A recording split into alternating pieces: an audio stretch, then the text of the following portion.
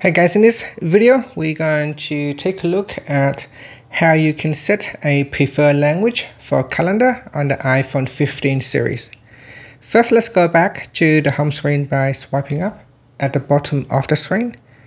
And on the home screen, tap on settings. Next, in settings, we go down and tap on calendar. Then in here, tap on language. Next, select a language that you would like to use as a preferred language. So here we got the default English or another language from here. So we got Vietnamese or Chinese. So select one of the option available in the list here.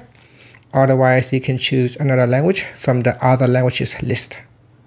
And that's it. After you can tap on the back key to go back to settings or swipe up to go back to the home screen. Thank you for watching this video.